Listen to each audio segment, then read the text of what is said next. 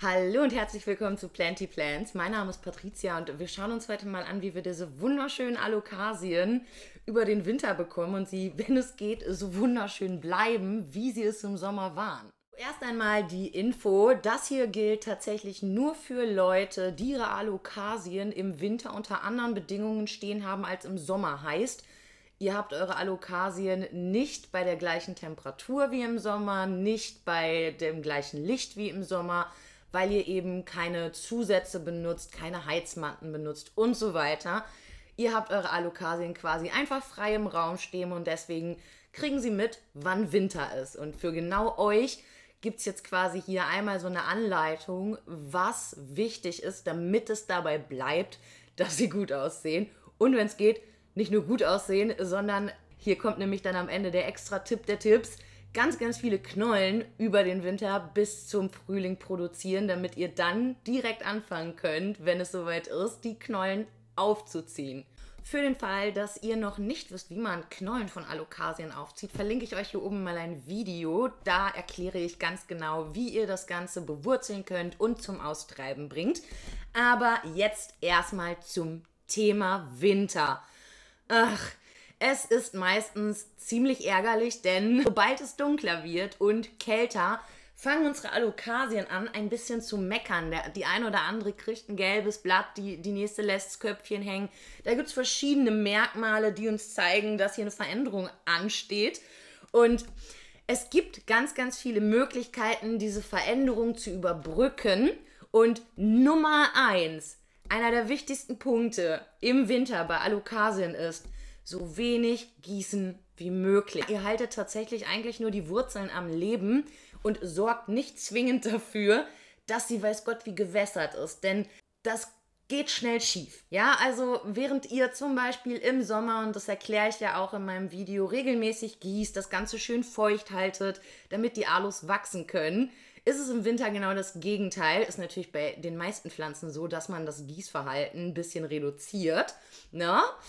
Versucht das ein bisschen im Kopf zu behalten. Ich, ich habe jetzt schon Nachrichten gekriegt, dass der ein oder andere Probleme hat und natürlich liegt es oft am, ich gieße weiter, wie ich im Sommer gegossen habe.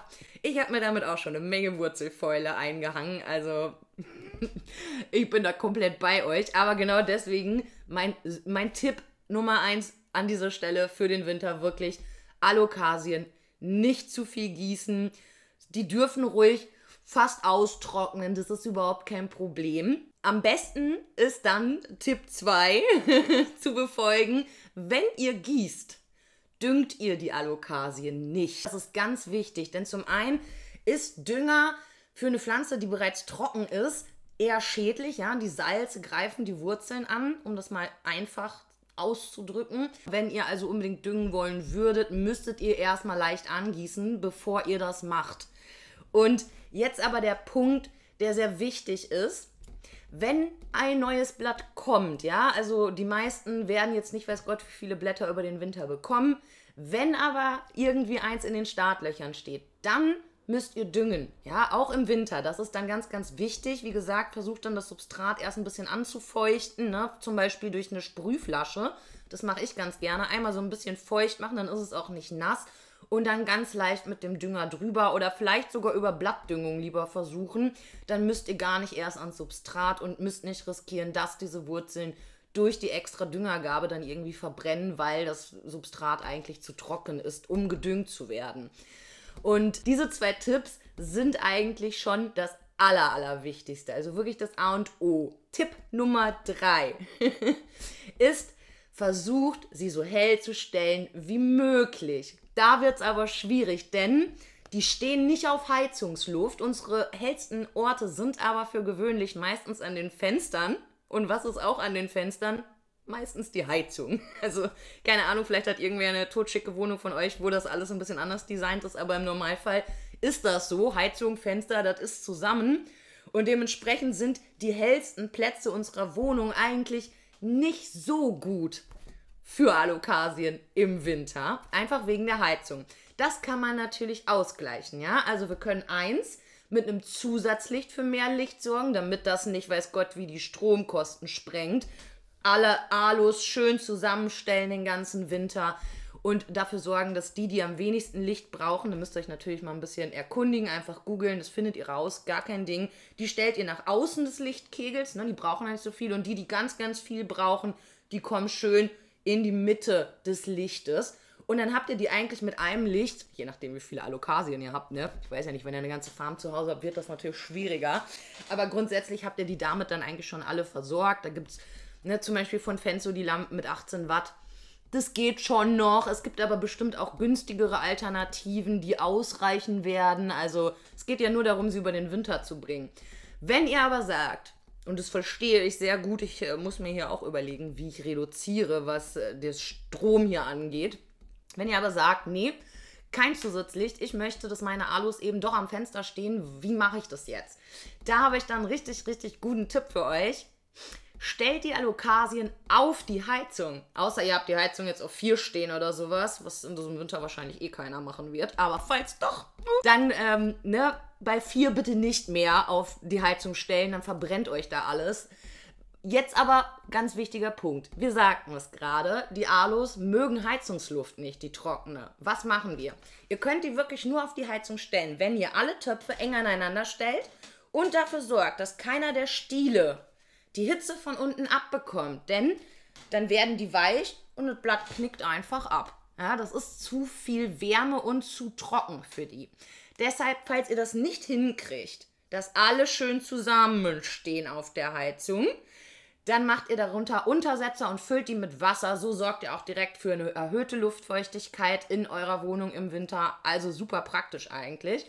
Was ihr auch machen könnt, ist die Pflanzen natürlich auf die Fensterbank stellen. Hier wird es allerdings schwierig, denn eure Fenster sind kalt. Alokasien mögen es nicht kalt.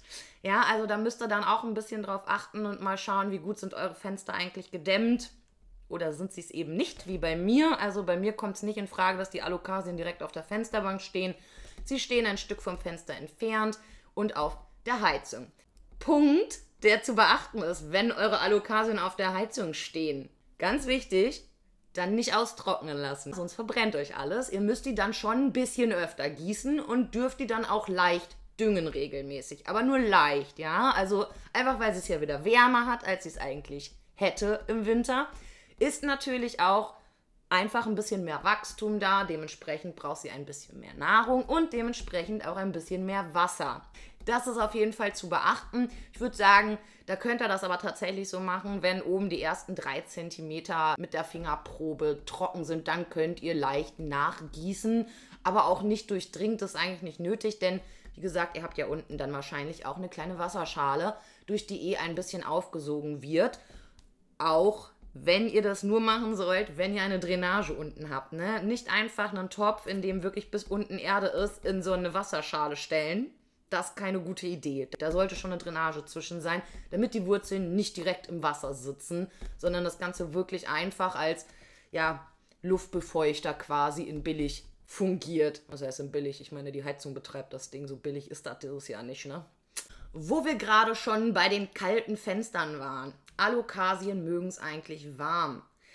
18 Grad solltet ihr also mindestens haben, damit die Alokasien einfach weiterhin aussehen, wie sie aussehen. Sie werden dann wahrscheinlich nicht großartig wachsen, außer eure Alus sind eh an kältere Temperaturen gewöhnt. Wenn sie das nicht sind, was bei den meisten der Fall ist, dann ist es wirklich ratsam, mindestens 18 Grad zu halten, denn ab 15 Grad, auf Dauer zumindest, wird es schwierig. Da ziehen die sich eigentlich wieder zurück die Blätter gehen und ja, dann dürft ihr bis nächstes Jahr warten, bis sie wieder austreibt. Vorausgesetzt, bis dahin stirbt euch nicht die Knolle, was bei den meisten eigentlich bis dahin passiert. Weil da muss man dann wirklich am besten nur ganz minimal einmal ansprühen und dann nicht mehr angucken, weil sonst stirbt die Knolle. Also schön darauf achten, dass die Temperaturen nicht zu niedrig sind. Ich weiß, es ist im Moment ein bisschen schwierig, das äh, so umzusetzen. Aber die Alus brauchen das einfach. Deswegen ist das mit der Heizung vielleicht schon das Beste, was ihr machen könnt und dann müsst ihr euer Gießverhalten eben auch nicht so krass anpassen. Ein wirklich sehr, sehr wichtiger Punkt kommt jetzt, denn der ist tatsächlich nur im Winter gegeben und das ist kalte Zugluft. Ja? Ihr müsst darauf achten, dass eure Alokasien nicht im Zug der Fenster steht, die ihr zum Lüften öffnet. Das heißt, bei mir, ich sehe zu, dass die Alokasien unten am Fenster stehen, denn ich lüfte mit den Oberfenstern, so kriegen die nichts ab. Ich würde niemals eine meiner Alokasien hier vorne hinstellen. Denn dort würde dieser Luftzug, dieser kalte ankommen und dementsprechend würde sie im Zug stehen. Das ist wirklich richtig, richtig schlecht für Alokasien, für viele Pflanzen, um das mal zu sagen. Ja, Kalateen sind da auch ganz, ganz empfindlich. Da wird direkt alles eingerollt und kein Bock mehr. Und bei den Alus ist es halt ähnlich. Kalte Zugluft, ein ganz, ganz großes Problem.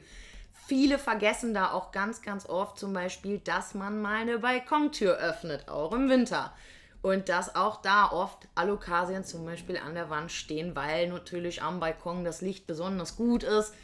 Ihr müsst da wirklich für sorgen, dass eure Alokasien an einem Platz stehen, an dem die Temperatur immer gleich ist, damit genau da kein Ärger entsteht. Und jetzt der Tipp, den ich euch noch geben möchte, damit ihr im Sommer quasi dann kleine Babypflanzen habt, die ihr eben im Frühling aus den Knollen gezogen habt. Es gibt besonders viele Knollen von euren Alus, wenn sie Hitze von unten bekommen. Heißt, wenn ihr den Heizungstipp befolgt und es richtig macht, ne, denkt dran, keine Stiele über der Heizung, ganz, ganz schlecht. Auch, auch keine Blattspitzen oder so, überhaupt nicht gut. Aber wenn ihr das macht und das irgendwie gut klappt, dann ist die Wahrscheinlichkeit sehr hoch, dass eure Alokasie viel, viel mehr Knollen produzieren wird, bis der Frühling kommt. Und ihr habt dann dementsprechend eine richtig gute Ausbeute, die ihr im Frühling fleißig einpflanzen könnt. Ich äh, verlinke euch dazu auch nochmal am Ende das Video zum Thema Knollen ziehen. Falls ihr damit noch keine Erfahrung habt, da erkläre ich das alles wirklich haargenau von vom Substrat über übers Gießen, über alles. Also da seid ihr nicht alleine mit und dann sollte eigentlich hier alles für den Winter abgeklärt sein. Wenn ihr noch andere Tipps habt, was man im Winter machen kann, um Alus besser über den Winter zu bringen, dann schreibt es mir auf jeden Fall in die Kommentare. Wenn ihr bisher im Winter Probleme hattet, dann würde ich super gerne wissen, woran es lag. Ja, also habt ihr genau diese Tipps befolgt und es hat trotzdem nicht gut funktioniert oder sagt ihr, ah, genau da war das Problem doch ein bisschen weiter gegossen und nicht so geachtet wegen der Temperatur. Also wäre auf jeden Fall sehr, sehr spannend. Tauscht euch aus in den Kommentaren. Und ja, ich würde sagen, einen schönen Tag, einen schönen Abend, eine schöne Nacht, wann auch immer ihr das Video guckt und bis zum nächsten Mal.